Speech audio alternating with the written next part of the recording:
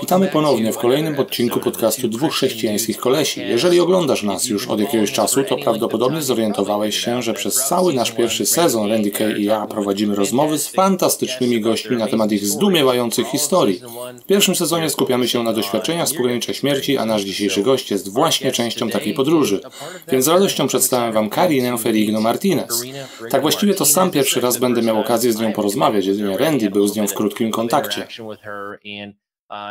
Jeżeli chodzi o jej historię, to jest w niej kilka nowych informacji, których nikt inny wcześniej jeszcze nie wspominał, lub kto by zaprezentował tego typu markery lub kroki milowe w stosunku do tego, czego doświadczyli. Jestem podekscytowany, że będziemy mieli okazję porozmawiać o rzeczach, o których wcześniej nie rozmawialiśmy w naszym programie. Dajcie mi chwilkę, aż podłączę wszystkich do rozmowy. W porządku. Randy, witaj w programie. Proszę, przedstaw nam Karinę i rozpocznijmy naszą rozmowę. Witaj Karina, to jest ogromna przyjemność Cię gościć. Nasza publiczność zostanie pobłogosławiona przez Twoją historię, ponieważ mam przeczucie, że Pan przemówi przez Ciebie w głęboki sposób, by zmienić ich życie. Tak więc nie zamierzam już przedłużać tego wprowadzenia i przekazuję Ci całą uwagę, abyś mogła nam opowiedzieć swoją historię o tym, jak dostałaś się do nieba, gdzie spotkałaś się z Jezusem. Więc przejmij stery, Karina, z niecierpliwością czekamy, aż podzielisz się z nami swoją opowieścią. Witajcie, czuję się pobłogosławiona, że tutaj jestem. Spróbuję powstrzymać łzy płynące z powodu, że czuję obecność Pana. W maju 2020 minął rok. 10 maja 2020, żeby być dokładnym. Byłam na moim podwórku po powrocie ze szpitala. Poprosiłam lekarza, aby wypisał mnie do domu po tych wszystkich testach, które robili. Pojechałam tam w piątek i spędziłam jedną noc. Mam rozrusznik i miałam kompletny blok serca. Tak właściwie to była błędna diagnoza, która uszkodziła moje przewodzenie przedsionkowo-komorowe, więc przez rok musiałam mieć rozrusznik serca. Więc w 2019, 10 czerwca 2019 roku, zamontowali mi ten rozrusznik z powodu błędnej diagnozy po czym miałam spore problemy z oddychaniem, z chodzeniem po schodach, z rozmawianiem i chodzeniem w tym samym czasie itd. Tak Więc zapisali mi sporo leków w dodatku do moich antydepresantów, estrogenów i innych leków, które brałam. Miałam całą listę problemów zdrowotnych przed i po. Naliczyłam 14 leków, które brałem codziennie.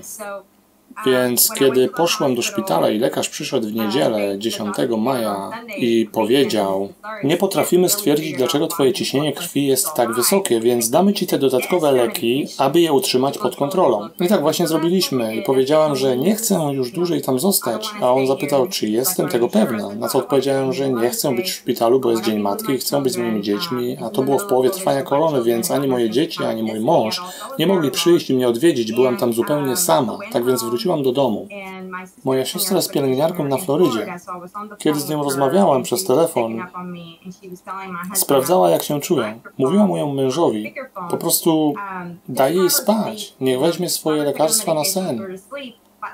Ale ja chciałam iść na tyły domu, bo mieszkamy w tym domu, w którego tyłach jest jezioro. Więc mój mąż mnie tam położył, a ja zaczęłam ich wszystkich przepraszać i czułam, czułam, Wiedziałam, wiedziałam, że umrę. I właśnie zaczęłam łapać moje. A mam parę bliźniaków, 12-14-latkę i 23-latka, a moja 33-letnia jest poślubiona, więc łapałam je wszystkie i czułam się tak, jakbym spadała. Ledwo mogłam oddychać. I przepraszałam ich, tak bardzo mi przykro. Przepraszam, przepraszam, że umrę, że umieram, że ja umieram. W tym momencie mój mąż jakby chciał mnie uciszyć, bo był tak bardzo zdenerwowany. Widząc mnie w takim stanie i powiedział, nie opowiadaj takich rzeczy. Moja siostra krzyczała na mnie i mówiła, przestań dramatyzować. Gdy ja cały czas powtarzałam, że idę do nieba, ale tak naprawdę to nie wierzyłam w to, że idę do nieba. Byłam przerażona, ponieważ w przeszłości zrobiłam tak wiele rzeczy. W swoim sercu czułam, że idę do piekła. Z powodu tych wszystkich rzeczy. Ale w tym samym czasie wiedziałam, dosłownie czułam, że coś wewnątrz mnie toczyło walkę. Niebo i piekło walczyło. Więc to jest coś, czym tak naprawdę nigdy wcześniej z nikim się nie podzieliłam. Wy będziecie pierwszymi, którzy to usłyszą, ponieważ poprosiłam Ducha Świętego, aby dał mi rzeczy, których w tamtym czasie nie pamiętałam. A kiedy to się stało, to położyłam się i zaczęłam bardzo szybko oddychać. I jestem pewna, że wielu z widzów wie o tym, że kiedy ktoś odchodzi, to zmienia się sposób, w jaki oddycha. I w pewnym momencie po prostu się zatrzymuje. I to właśnie mi się przydarzyło. Oddychałam bardzo szybko, a potem nagle przestałam oddychać. I wtedy usłyszałam ten przepiękny, spokojny głos, który od razu rozpoznałam. W pewnym sensie to zawsze go słyszałam. A jednak nigdy go nie słyszałam i mój mąż, który siedział obok mnie, przyłożył mój zegarek Apple, żeby sprawdzić moje tętno i był bardzo zaniepokojony. Nie mógł on też zadzwonić po pogotowie, bo dzwoniliśmy po nich w poniedziałek, wtorek, środę i czwartek. Aż w końcu mnie zabrali, więc powiedział, że nie zadzwoni po pogotowie, ale zadzwoni do mojej siostry. Więc nieustannie sprawdzał moje tętno, które po prostu nie chciało się podnieść, utrzymywało się na 60.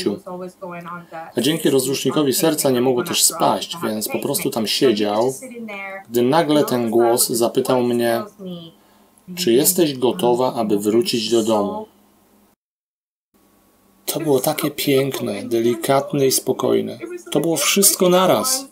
A ja powiedziałam tak. I w moim sercu, umyśle, w sercu byłam z moimi dziećmi, ale nie czułam. Nie czułam, że muszę zostać.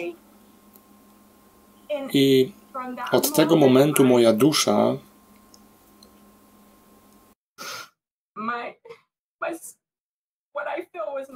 zaczęła wychodzić pod tym kątem.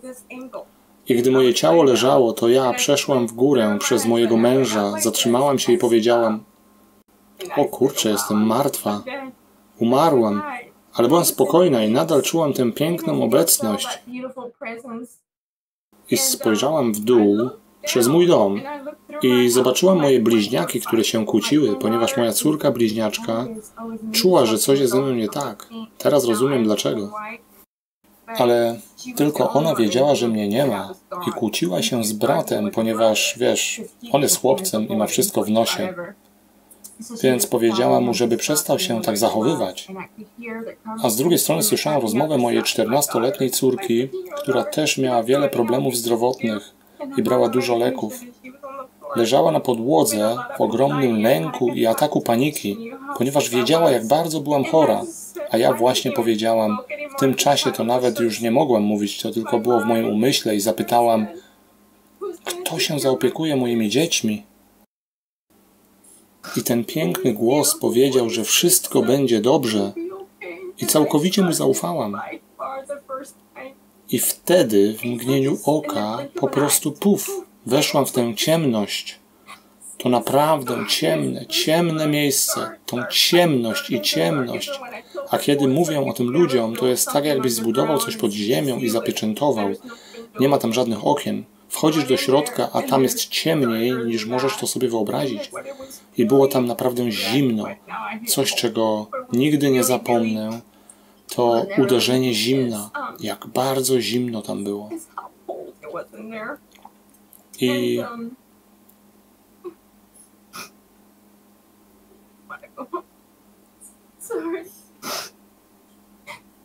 I ponownie usłyszałam ten piękny głos, który powiedział do mnie: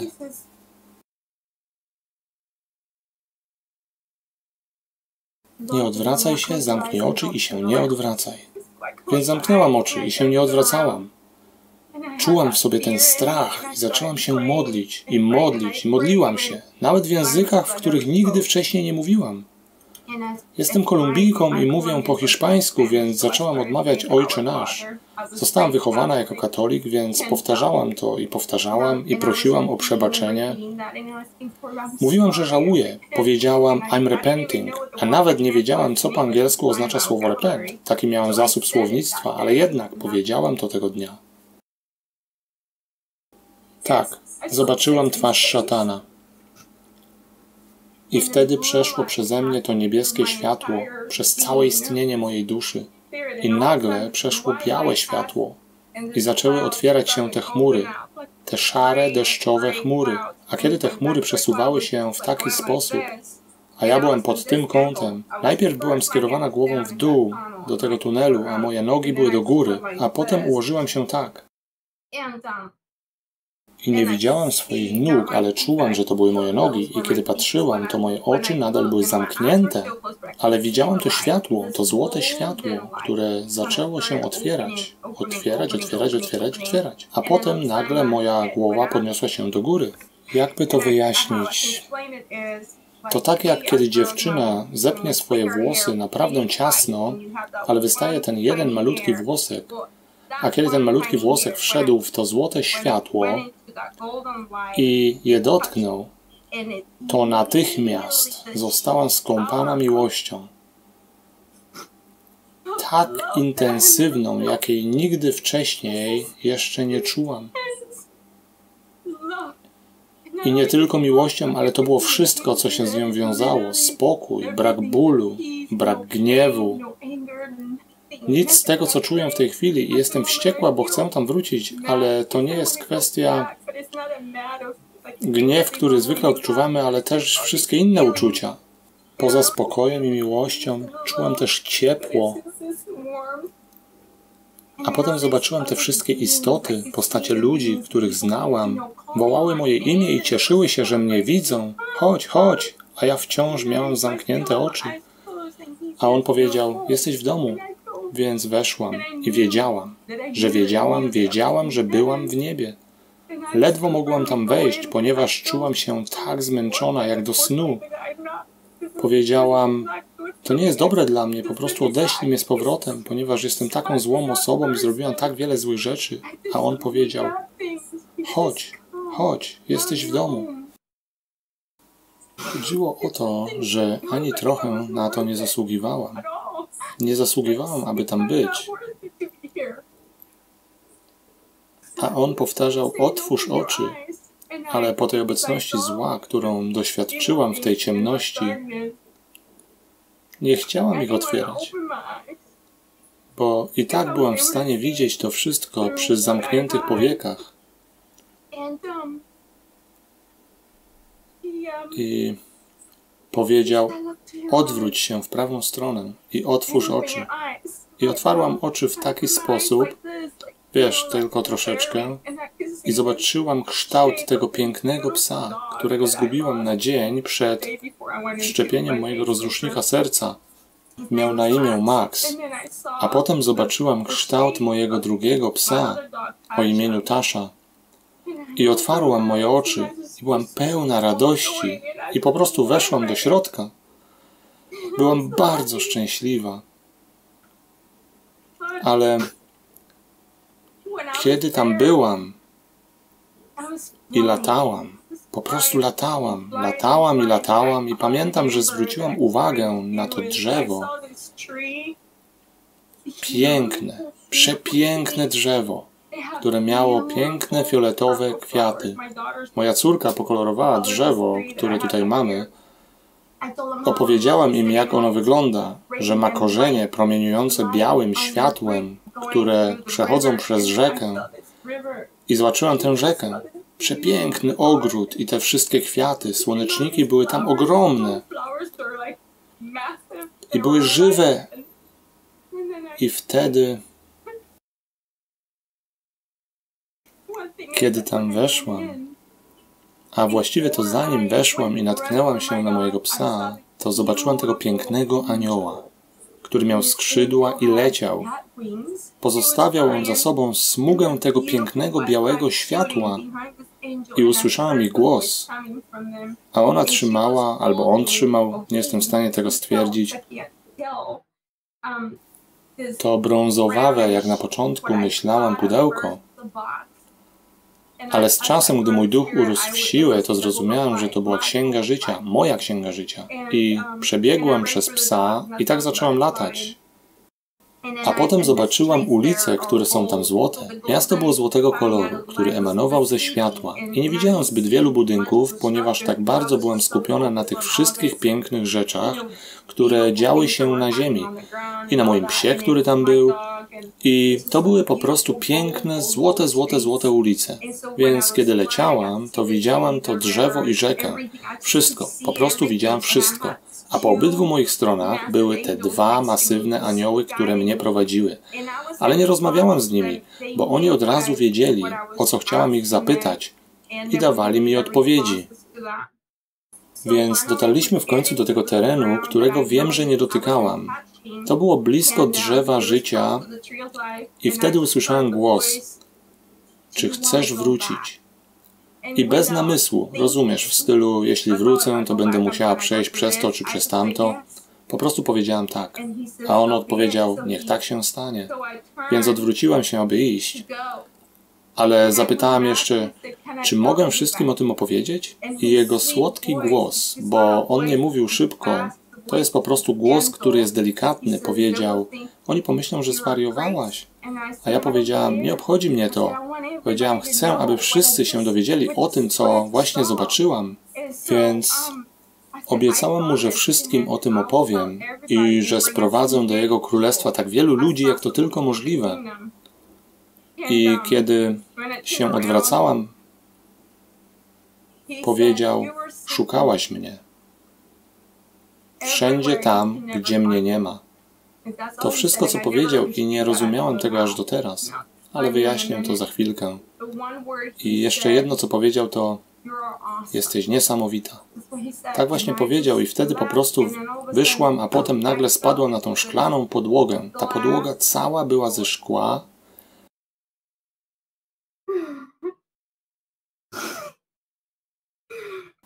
Ta podłoga cała była ze szkła, ale była jasna, bardzo jasna.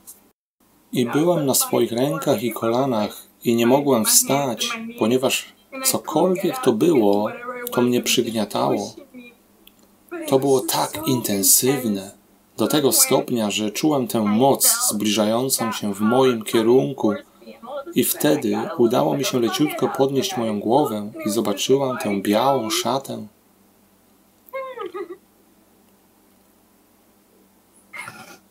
I tę osobę, która do mnie podchodziła, miała złoty pas i fioletową szarfę. Nie widziałam jego twarzy, ponieważ cała była skąpana w tym jasnym, białym świetle. Ledwie widziałam te włosy, a potem włosy tutaj. A jego głos zapytał mnie ponownie, czy jesteś pewna, że chcesz wrócić? A ja powiedziałam tak.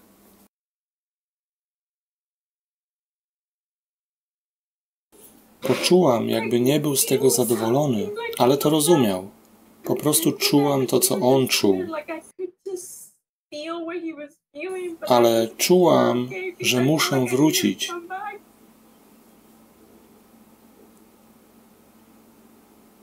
I to on sprowadził mnie na dół.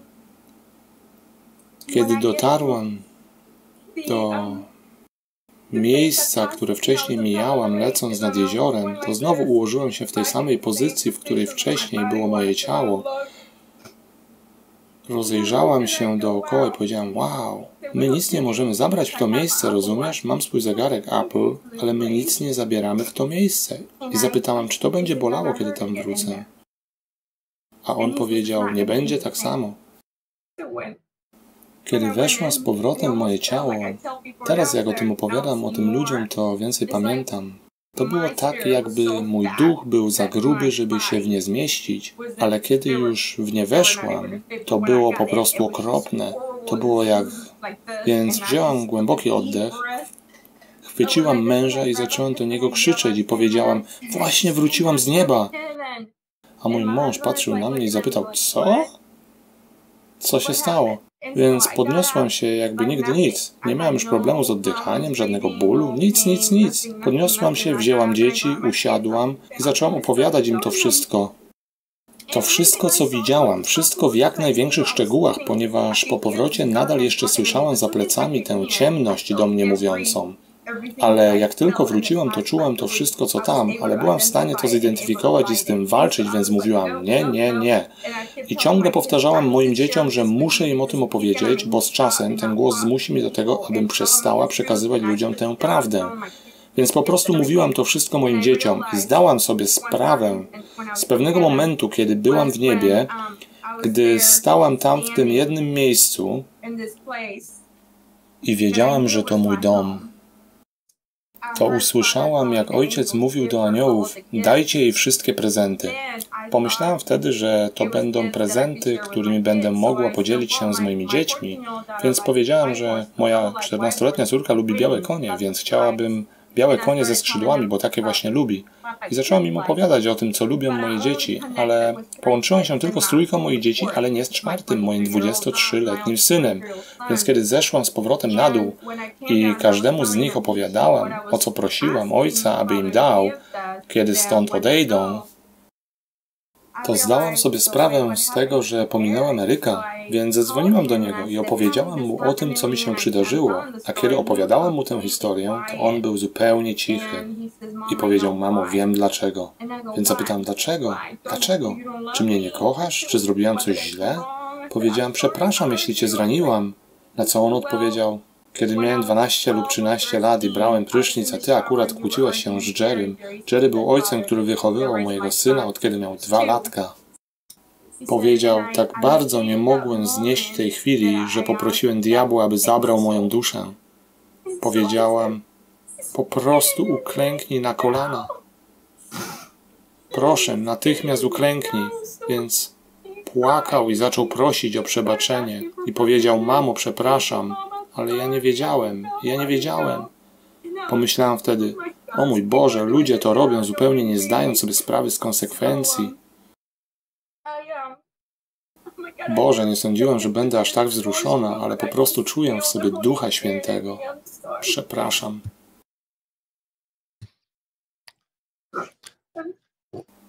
Możemy na chwilkę przerwać, abyś mogła się pozbierać, a w tym czasie Randy i ja trochę porozmawiamy. Nie jesteś pierwszym gościem w naszym podcaście, który tak się wzruszył, więc nie przejmuj się tym. Całkowicie rozumiemy, że ponowne przeżywanie i rozmawianie o tych doświadczeniach, jak już wielu z naszych gości to powiedziało, przywraca to wszystko. Zmysły są wyostrzone do nadprzyrodzonego poziomu. I poza to, co zwykle czujemy tutaj na Ziemi, Chciałbym wrócić do miejsca, w którym skończyłaś opowiadać swoją historię, ale jest tak wiele pytań, które Randy i ja moglibyśmy Ci zadać już tylko na podstawie tego, co do tej pory nam opowiedziałaś, że może to będzie dla Ciebie dobra, naturalna przerwa, jeżeli porozmawiamy trochę o innych sprawach. Interesuje mnie, czy byłaś osobą religijną i miałaś inne doświadczenia duchowe, zanim Twoje doświadczenie z pogranicza śmierci się wydarzyło. Jaka była Twoja postawa lub zrozumienie, gdy to się wydarzyło?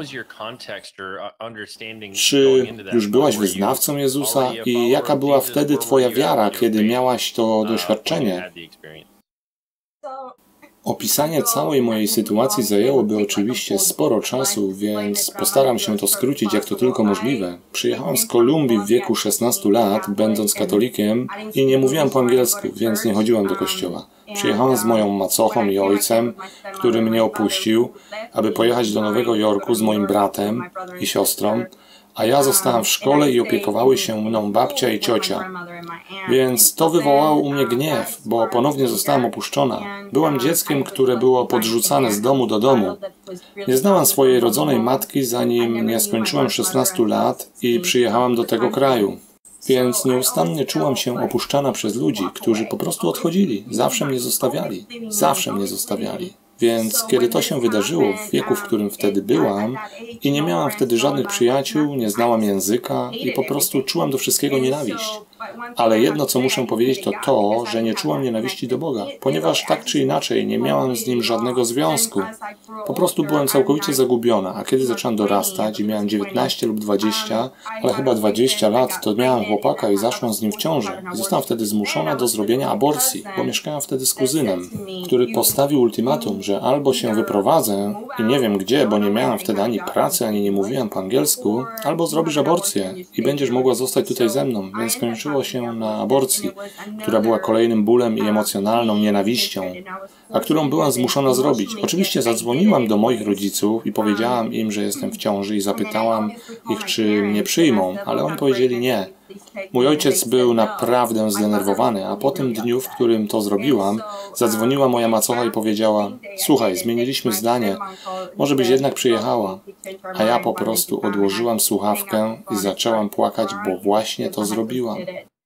Więc to, jak teraz już wiem, otwarło drzwi dla wielu złych decyzji. Miałam wielu chłopaków, pracowałam jako model kostiumów kąpielowych i muszę Was ostrzec, że nie zamierzam Wam mówić, że robicie coś źle, ale to, co ja robiłam, było złe. I myślę, że wiele osób powinno tego wysłuchać i naprawdę przyjrzeć się temu, co robią.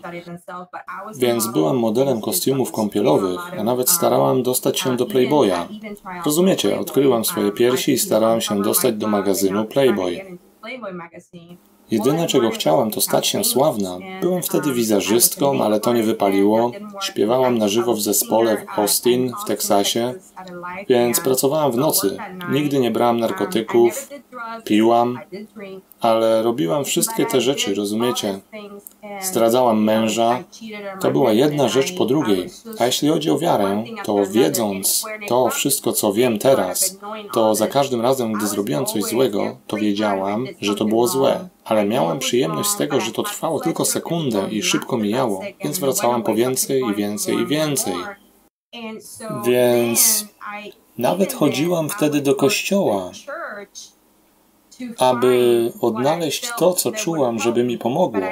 Ale jakoś nigdy nie mogłam znaleźć kościoła, a byłam w kościele chrześcijańskim, w kościele baptystów, a nawet poszłam do kościoła mormonów i chodziłam do tych wszystkich kościołów i nic. Nikt się mną nie interesował.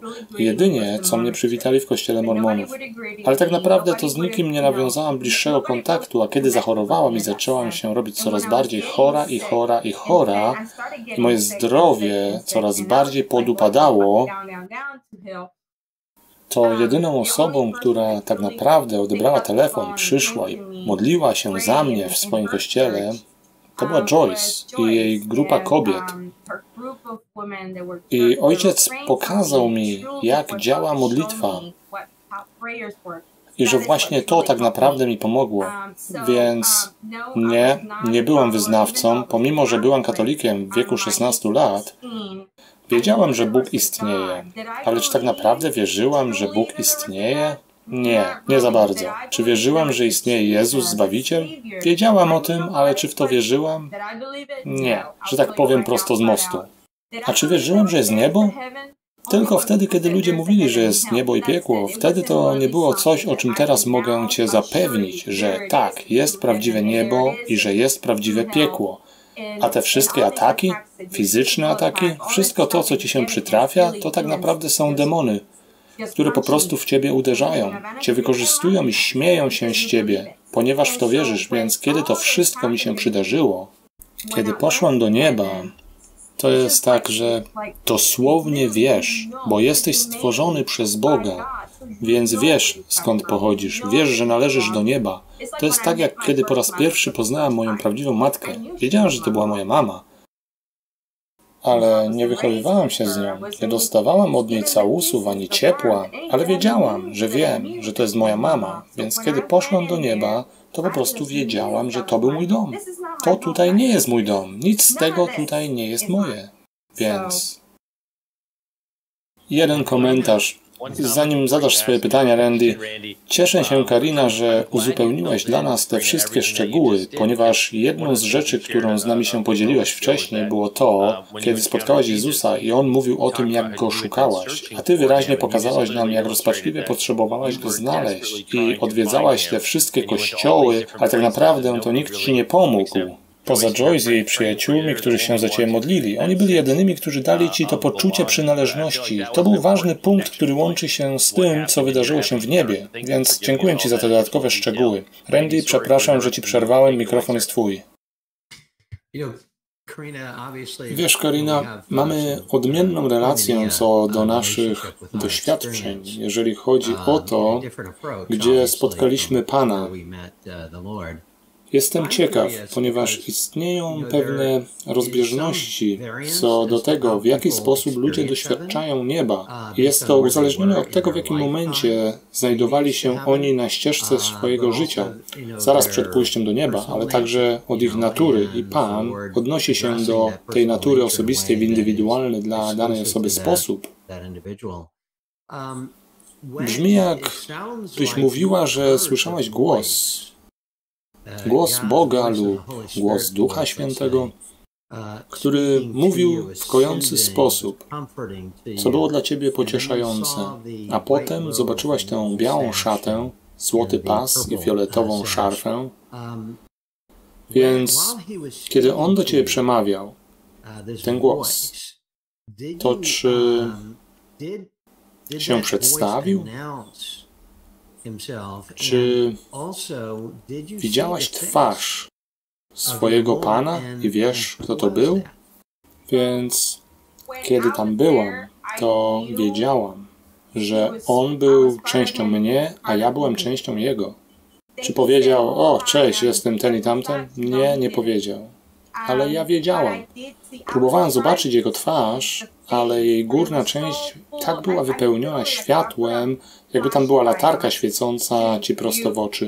I tak jakby zapomniał zakryć część brody, więc to wszystko, co widziałem.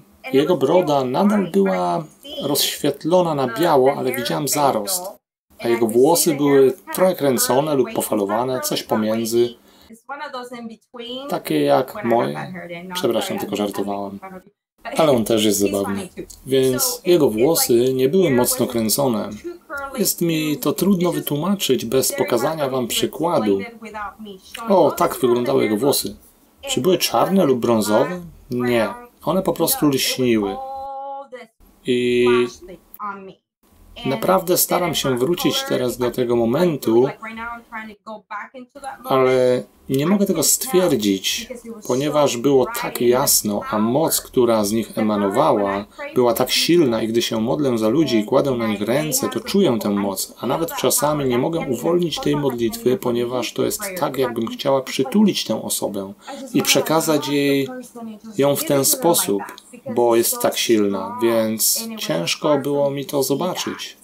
Więc mam nadzieję, że odpowiedziałam na Twoje pytanie, ponieważ bardzo trudno było zidentyfikować jego imię, które wiedziałam, że znam, a nawet powiedziałam do Kevina, a może to był prawdziwy Bóg, a ja tylko zobaczyłam jego brodę. A kiedy już tutaj wróciłam, to ludzie mi mówili, nie, to był Jezus.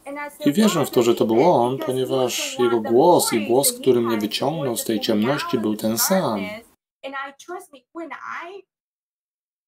Uwierzcie mi, kiedy powiem, że kiedy słyszę Jego głos, który mówi zaufaj mi, a ja dosłownie mówię ludziom, że chwytam Go za nogę, a On idzie, a ja po prostu mówię, nie puszczę Cię, dopóki mnie nie pobłogosławisz. To właśnie robię, kiedy Go słyszę. Nie odpuszczam i dlatego ludzie myślą, że jestem szalona. My nie myślimy, że jesteś szalona. Zrewanżuję się teraz Tobie, Sean. Sposób, w jaki Jezus Chrystus objawia się każdemu z nas, jest unikalny zarówno w tym życiu, jak i w niebie. Więc jego wygląd i wszystkie te inne rzeczy, o których chcielibyśmy się dowiedzieć, nie są specyficzne dla interpretacji danej osoby, ale to, w jaki sposób Bóg pragnie komuś się objawić w danym momencie jego życia, w tym czasie. Więc w Twoim życiu, Karina, Pan objawił się nie ujawniając swoich cech i różnic, ale samą istotę tego, kim On dla Ciebie był. I to było spersonalizowane w taki sposób, w jaki Pan do nas dzisiaj mówi.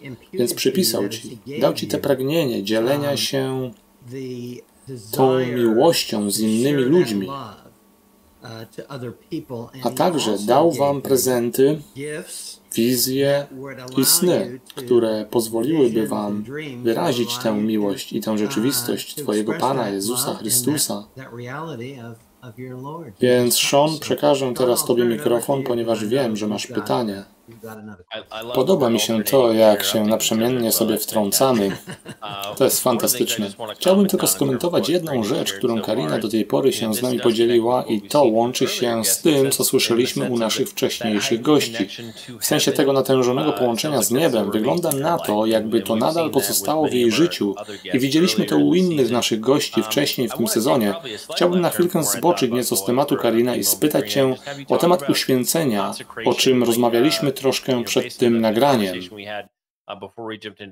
Biorąc pod uwagę część tego, czym już się z nami podzieliłaś, wydaje mi się, że po swoim doświadczeniu wkroczyłaś w okres, w którym naprawdę wiesz, jakkolwiek Bóg każe ci się uświęcić lub wkroczyć w większą świętość, o której mówiłaś, bo zajmowałaś się modą i modelingiem i wszystkimi tymi innymi rzeczami, które tak naprawdę skupiają się wokół Twojego wyglądu i sławy, opowiedz nam o tym, w jaki sposób Bóg rzucił Ci wyzwanie lub zachęcił Cię, abyś podążała w tym innym kierunku, gdzie bardziej chodzi o to, aby być posłusznym Jego woli i temu, o co Cię prosi. Wydaje mi się to być ważnym elementem Twojej historii i niektórzy z widzów, którzy nas oglądają, powinni zrozumieć tę część Twojej podróży. Więc zdecydowanie to jest coś, o czym do mnie mówi. Zdecydowanie to jest coś, co ludzie naprawdę powinni zrozumieć, że każdy ma swoją własną ścieżkę w życiu, ale tak naprawdę to wiedzie ona poprzez Jego chwałę. Więc kiedy rozpoczęłam tę podróż, to już na drugi dzień mogłam widzieć i słyszeć duchy. Natychmiast mogłam je widzieć. Czasami gdzieś szłam i nagle zobaczyłam coś. Co to takiego? Ale tego nie rozumiałam i muszę Wam powiedzieć, nie znałam Biblii, więc nie wiedziałam o drzewie, rzece i że jest szklana podłoga. Nadal się tego uczę, więc tak wiele mi było dane w niebie, a ja nie wiedziałam, że to wszystko było w Biblii. Joyce i ta inna kobieta, które się nie znały, gdy usłyszały moją historię, to ją potwierdziły. Potem pewnego razu mówiłam modlitwę pod prysznicem, ponieważ poprzez ciepłą wodę chciałam uzyskać temperaturę, którą czułam w niebie. Oczywiście się poparzyłam, bo w naszym poprzednim domu mieliśmy bezzbiornikowy podgrzewacz do wody, więc potrafiłam spędzić godzinę, zanim uzyskałam odpowiednią temperaturę. Oczywiście mój mąż marudził o nasz rachunek za wodę, ale ja powiedziałam, że mnie to nie obchodzi, bo muszę się pomodlić. Więc modliłam się codziennie, całymi dniami, bo nie chciałam tego stracić, ale wiedziałam, że będę musiała część tego stracić, aby móc skupić się na własnej rodzinie. Więc wchodziłam pod prysznic i się modliłam. I zapisywałam na zaparowanym szkle słowa, które otrzymywałam. Bo nie wiedziałam, co znaczy szalom, nie wiedziałam, kim był Caleb, i słyszałam Jezusa i wiedziałam, że to był On, bo miał ten sam głos. A gdy się modliłam i płakałam, proszę zabierz mnie do domu, to usłyszałam, masz duszę Caleba. I zapytałem, co? Dosłownie powiedziałem, co? Co ja właściwie usłyszałem? Kim jest Caleb? Więc zapisałem Caleb i nadal mam notatki, z kiedy to się stało. I napisałem do mojego przyjaciela, który jest świetny w wyszukiwaniu różnych rzeczy i zapytałem go, czy poszukałby, kim lub czym Caleb był, bo właściwie się dowiedziałem, że mam duszę Caleba. Więc gdy się dowiedział i mi odpisał, to akurat kierowałam. Oczywiście robiłam coś, czego nie powinnam i wiem, że tego nie robić, więc po prostu chwyciłam telefon i troszeczkę przeczytałam i natychmiast Duch Święty dał mi potwierdzenie. To jest kolejna rzecz, że nie można mnie okłamać. Więc dostałam potwierdzenie i krzyczałam tak głośno, jak to tylko możliwe. Jestem pewna, że pani, która właśnie wyprowadzała swojego psa, patrzyła na mnie ze zdziwieniem. Ale nie tylko to. Kiedy powróciłam z nieba, to miałam bardzo długie włosy. Bardzo długie, ale zaczęłam je tracić. Więc Skończyło się na tym, że je obcięłam, bardzo krótko, ale nadal ubierałam się nieprzyzwoicie i miałam implanty i wspominam o tym wszystkim, bo chcę nakreślić moją przemianę.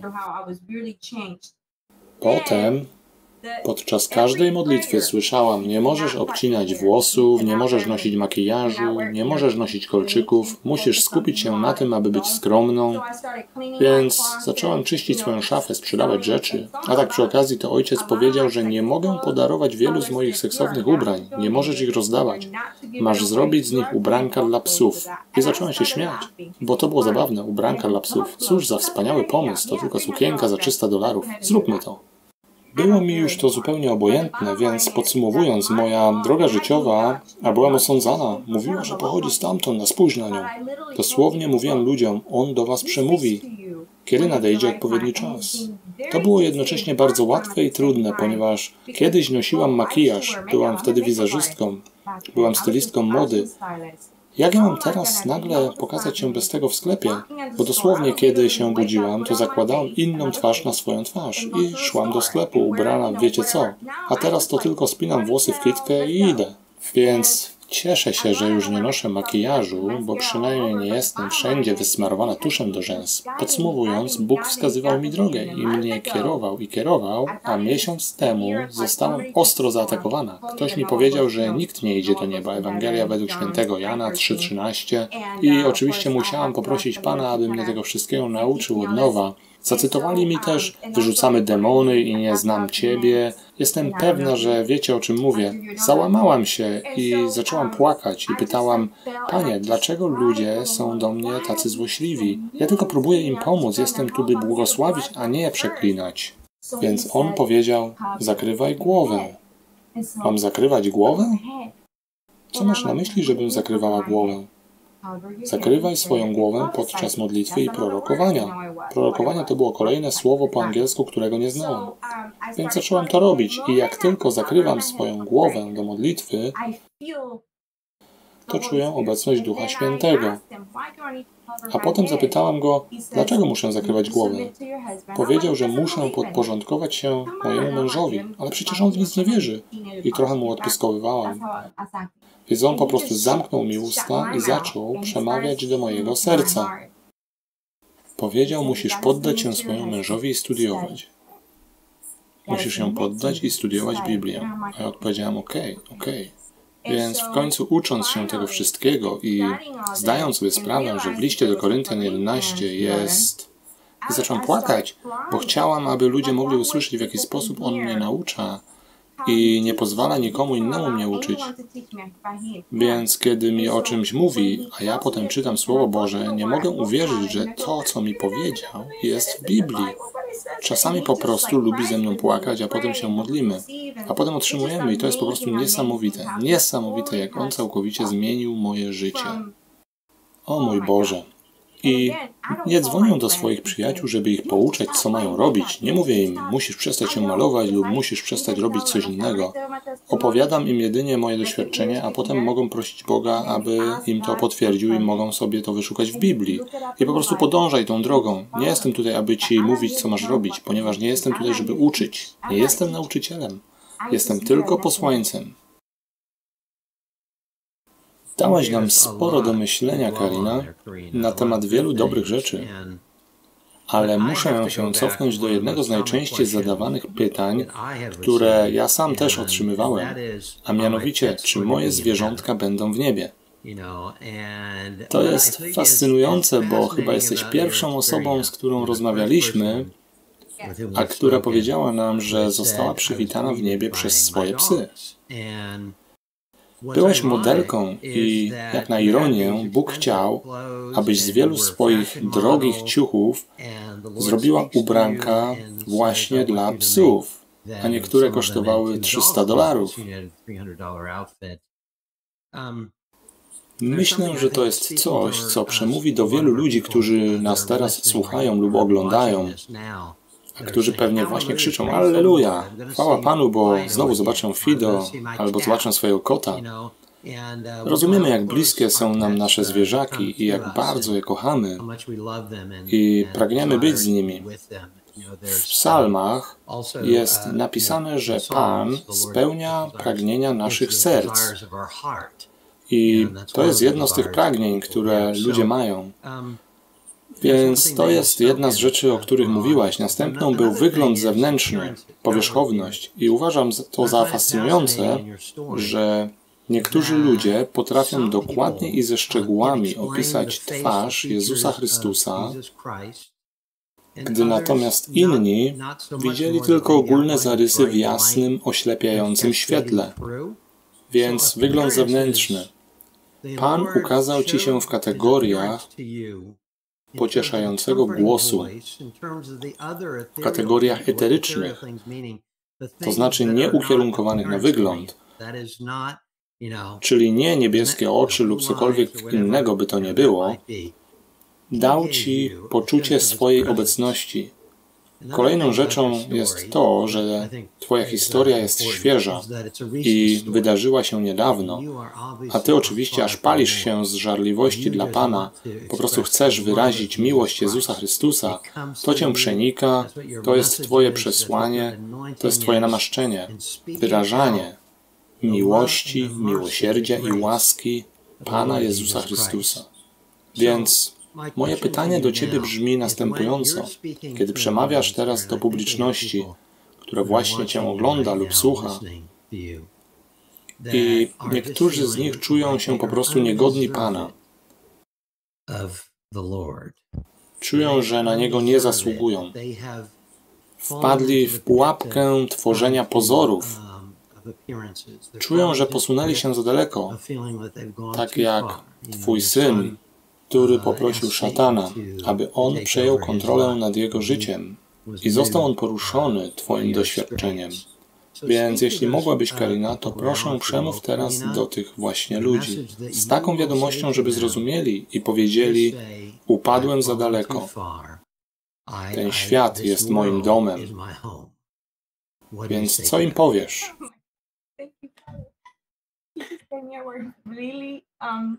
Powiem wam to, chłopaki. Jeszcze wczoraj, kiedy spotkałem wiedźmę i zamiast od niej odejść, to poczułem dla niej wielkie współczucie, ponieważ nie chodzi tutaj o namaszczenie, nie szukam prezentów, poszukuję dziewięciu owocy Ducha Świętego. Po prostu poczułem współczucie, miłość, życzliwość, wszystko. Dziewiąty owoc Ducha Świętego jest dokładnie tym, czym jest Bóg. I jeżeli znajdujesz się w głębokiej, ciemnej dziurze, to przypomnij sobie, co On mi powiedział. Powiedział, że diabeł, szatan, zrobił ci tak wiele złego. I tak widziałem to i byłem przy tobie. Ale to, co zrobiłam, to było wielkie zło, a to, co on mi zrobił, jest oczywiste. Popełniłam morderstwo. Kiedy byłam nastolatkiem, to ukradłam pieniądze. Ale przede wszystkim przecież zabiłam dziecko. Cudzołożyłam. Mój Boże, ta lista jest taka długa. I nie obchodzi mnie, jak wyglądasz i jakiego jesteś wyznania. Nie obchodzi mnie skąd pochodzisz i co zrobiłeś ze swoim ciałem, ponieważ ja usunęłam moje implanty, kiedy mi powiedziano. Ale najważniejsze jest to, że Ojciec z całego tego wszystkiego ciężkiego, ciemnego i jeśli myślisz, że już za daleko zabrnąłeś, to On cię podniesie z tego, potrząśnie i wyczyści. A to oznacza, że skieruje On swoje spojrzenie na nas oznacza, że idziesz na wojnę. Będziesz przechodził trening tak jak żołnierze, ale nie każdy sobie poradzi i go ukończy, więc niektórzy po prostu odchodzą. Ale ty się nie poddawaj i nie przestawaj. Nie przestawaj, nie przestawaj. Prosić Boga, aby cię z tego wyciągnął, bo ja się wydostałam, a myślałam, jeśli naprawdę jesteś prawdziwy, to przyjdź. Nie rezygnuj, ponieważ staniesz się jednym z tych żołnierzy w tych wszystkich zmaganiach, w tych wszystkich bitwach, i nie mówię tego tylko dla tych, którzy są zagubieni i którzy nie wierzą, ale dla tych, którzy rzeczywiście jeszcze prą do przodu i wciąż walczą. Nie przestawaj, nie przestawaj wierzyć, nie przerywaj swojej wiary, którą nadal jeszcze w sobie nosisz, bo On naprawdę Cię słucha. A jeśli nadal jeszcze się z tym zmagasz, to dlatego, że jest to prawda. W jaki sposób masz zamiar opowiedzieć swoją historię, swoje świadectwo? On właśnie Ci o tym teraz mówi. Jak będziesz mógł opowiadać o tym, przez co przeszedłeś i pomagać innym, jeśli Cię tam nie było? Jak będziesz mógł komuś powiedzieć, hej, wszystko będzie dobrze, jeżeli u Ciebie nie było dobrze? Więc nie rezygnuj z Boga, nie rezygnuj z wiary i wierz w to, że jest Zbawiciel, który umarł za całą tę ciemność, która Cię atakuje, za wszystkie te rzeczy, do których zmusza Cię diabeł, ponieważ w swoim sercu, kim tak naprawdę jesteś, jesteś tak cenny dla Boga. A kiedy Cię stworzył, to dla konkretnego celu, więc szatan o tym wie i mówi, wiesz co, nie pozwolę jej mówić. Sprawię, że będzie cudzołożyła, sprawię, że będzie robiła to czy tamto, ale wiesz co? Jeżeli będziesz kontynuować swoje modlitwy, a jeśli w Niego nie wierzysz, ale Go choć raz wezwiesz, to On Cię usłyszy i to będzie tak. Poczekaj, On właśnie mnie wezwał. Wezwij Go, żałuj za to, co zrobiłeś, a sam zobaczysz, co się stanie. Wow. To było potężne, ale czuję, jakbyśmy już o tym rozmawiali w jednym z naszych wcześniejszych odcinków lub w jednym z 800 podcastów, które zrobiłem na przestrzeni lat. Ale nie da się nie docenić siły świadectwa. Mam wrażenie, że ludzie często myślą, nie mam szalenie przesadnego świadectwa jak Karina lub moje świadectwo jest zbyt nudne, ale Rzeczywistość jest taka, że wszyscy nieustannie toczymy walkę, wszyscy mamy coś na sumieniu, mamy grzechy, z których Bóg już nas uwolnił lub nad którymi nadal pracuje, wnosząc więcej uświęcenia do naszego życia. Więc nawet jeżeli uważasz, że Twoje świadectwo jest najnudniejsze i najbardziej przyziemne, to zawsze jest ktoś, kto właśnie przechodzi przez to, co Ty przeszedłeś. Jest ktoś, kto potrzebuje wyzwolenia i uzdrowienia za to, co Bóg już naprawił w Twoim życiu i przeciągnął Cię na drugą stronę. Nawet jeśli wydaje się ono mało ekscytujące, to czasami samo podzielenie się nim jest ważne i wiele z tego pojawia się, gdy jesteśmy inspirowani inspirowani przez Ducha Świętego. Gdy z kimś rozmawiamy i przychodzi nam wtedy coś do głowy i zastanawiam się, skąd to się wzięło. I często ten niezauważalny, cichy głos, który nam podpowiada, aby się wszystkim dzielić. Bóg mówi nam, abyśmy się dzielili. To może zrobić różnicę i przynieść uzdrowienie w kogoś życiu. Prawdopodobnie nawet wprowadza go do królestwa. Będziesz miał szansę przedstawić ich Jezusowi, być może po raz pierwszy, więc nigdy nie lekceważ mocy swojego świadectwa. To jest niezwykle ważne. Kilka komentarzy zanim zakończymy. To, co mi się najbardziej podobało w naszej dzisiejszej rozmowie. Jeśli słyszysz hałas, to Tytus, który się bawi w pokoju obok, czymś tam się bawi jest nieco głośno z mojej strony. W kategorii naszych gości to jest najbardziej świeże doświadczenie, a Karina wcale nie jest aż tak niewiarygodna w porównaniu z wieloma innymi naszymi gośćmi, których doświadczenia często miały miejsce dawniej niż dekadę temu, więc myślę, że to jest ważne. Kilka innych rzeczy, na które zwróciłem uwagę i wyróżniały się dla mnie w jej historii, w jej podróży, spotkanie jej psów w niebie, to było nowe i wcześniej nikt tego nie wspominał. Niektórzy nasi rozmówcy spotykali zwierzęta w niebie, takie jak konie, które były dla nich ważne, ale w tej konkretnej rozmowie to nie były ich zwierzęta, więc to było naprawdę interesujące. Jeżeli chodzi o jej podróż, to trafia w tak wiele ważnych punktów, które widzieliśmy u wielu innych mężczyzn i kobiet, którzy podzielili się z nami swoimi opowieściami i chyba na tym skończę i przekażę rozmowę Randy'emu, aby mógł podzielić się z nami swoimi komentarzami. Ale podoba mi się to, Karina, że weszłaś w to doświadczenie, będąc całkowicie nieobeznana z Pismem Świętym, a wraz z pogłębianiem swojej podróży z Panem odkrywasz rzeczy, które spotkałeś w niebie i rzeczy, o których mówił Ci Duch Święty, że są one w Biblii. Podoba mi się, że przez całą naszą rozmowę opowiadasz, jak odkrywałaś rzeczy, jak ta jasna twarz Jezusa. To jest w Biblii, tam to jest w Biblii. Myślę, że jest to jedna z wielu pięknych części Twojej podróży. I naprawdę czuję się zaszczycony, że podzieliłaś się tym z Randym, ze mną i naszą publicznością. To naprawdę jest błogosławieństwo, więc to są moje komentarze. Randy, pozwolę Ci teraz podsumować tę rozmowę. Wyciszę teraz swój mikrofon jak tylko mogę, bo tytuł zrobi się trochę drażliwy. Też mieliśmy psy, mieliśmy dzieci, a tak nawiasem mówiąc, Tytus to bardzo słodki mały chłopiec. Zamierzam Ci zlecić i nie zostało nam zbyt wiele czasu, Karina, ale właśnie usłyszałem potrzeb ze strony Ducha Świętego, aby poprosić Cię o zmówienie krótkiej modlitwy po hiszpańsku do naszej hiszpańskojęzycznej publiczności. Proszę, pobłogosław ich jeśli mogłabyś to dla nas zrobić.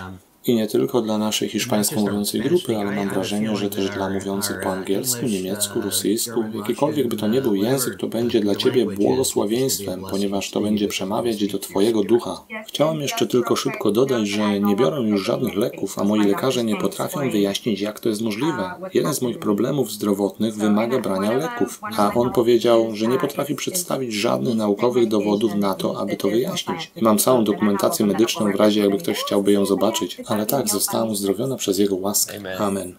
Więc bardzo dziękuję za zaproszenie. A ja dziękuję za to, że z nami jesteś. Gracias, Señor, por este momento. siento el Espíritu Santo. Gracias, Señor, por este momento, por esta oportunidad de, de expresar no mi palabra, pero tu palabra, tu verdad. Dios, yo te quiero, te adoro por todas tus palabras y, tu, y, tu, y tus hijos eh, expresando el amor que ellos tienen por ti. Yo bendigo a todas las personas que escuchen este mensaje. Escúchalo, deja que entre a tu corazón y deja que, empiece a florecer. No te olvides de que todo esto Dios, ese es el único, Jesucristo es el único que te puede sacar de donde tú estás. Yo oro para que este mensaje llegue a ti, a tu, a tu espíritu y que te mueva y que te abra los ojos y los oídos. En el nombre del Señor Jesucristo, yo hablo. Amén. Amen. Dziękujemy Ci bardzo za tę modlitwę, Karina, i po prostu przejdę od razu do naszego tradycyjnego zakończenia, ponieważ to jest podcast i nie mogę tego nie zrobić. To jest we mnie tak głęboko zakorzenione. Dziękuję wszystkim, którzy nadal kontynuują razem z nami tę podróż dla podcastu dwóch chrześcijańskich kolesi. Jeśli zostałeś poruszony historią Kariny, lub zauważyłeś coś interesującego, gdy tego słuchałeś lub oglądałeś, to proszę zostaw komentarz. Chcielibyśmy usłyszeć, jak ten odcinek na Ciebie wpłynął. Jeśli już jesteś zapisany do naszego kanału, i to był chyba nasz dziewiąty lub dziesiąty odcinek, bardzo byśmy docenili, gdybyś powiedział o nas innym ludziom. Tak więc polub, podziel się, oceń, zrób te wszystkie rzeczy, które pomogą nam rozpowszechnić nasz podcast. I dodam też, że służyć w ten sposób to jest dla nas zaszczyt. Uwielbiamy pomagać naszym braciom i siostrom w rozpowszechnianiu ich historii i wrócę tylko jeszcze do tej mocy świadectwa. Wiem, że wielu z Was, którzy słuchali lub obejrzeli tę rozmowę z Kariną, zostanie pobłogosławiona i poruszona jej doświadczeniem. Interesujące jest to, że jej doświadczenie jest w pewnym rodzaju tym bardzo streszczonym przykładem chrześcijańskiego życia, w którym Bóg dokonał tak wielu szalonych i niesamowitych rzeczy w ciągu zaledwie roku. Więc to było błogosławieństwo, aby usłyszeć to wszystko w całości i myślę, że jeśli byśmy naprawdę się zagłębili w szczegóły jej historii, to prawdopodobnie moglibyśmy wypełnić 3 do 4 godzin rozmowy, więc kto wie, może kiedy wrócimy, prawdopodobnie zrobimy kolejne odcinki o doświadczeniach bliskich śmierci w czwartym sezonie. Może za rok powrócimy do tego tematu jeszcze raz i myślę, że fajnie byłoby wtedy ponownie się z Tobą połączyć, Karina, i zobaczyć z perspektywy czasu, co Bóg zrobił w przeciągu tego roku. Co się zmieniło u Ciebie i być może będziesz rozumieć wszystko nieco bardziej, ponieważ to jedna z rzeczy, które zauważyłem po latach, że często z perspektywy czasu pojmujemy rozumiemy rzeczy na innym poziomie. W rozmowach z wieloma mężczyznami i kobietami, z którymi rozmawialiśmy o ich doświadczeniach z pogranicza śmierci, to było tak, że po dłuższym czasie Bóg dał im większe zrozumienie i objawienie tego, co tam napotkali. Wydaje mi się, że wtedy widzą oni swoje doświadczenie w niebie w bardziej pełny sposób. Zgaduję, że czasami prawdopodobnie nadal jesteś w tym obezwładniającym stanie ponieważ nadal jest tak wiele, z czym pomaga Ci Duch Święty się uporać, więc tak czy inaczej to było naprawdę długie zakończenie. Dziękuję wszystkim za oglądanie i wysłuchanie nas, kochamy Was i lubimy robić dla Was te programy i zapraszamy wkrótce na kolejny odcinek podcastu Dwóch Chrześcijańskich Kolesi. Do zobaczenia.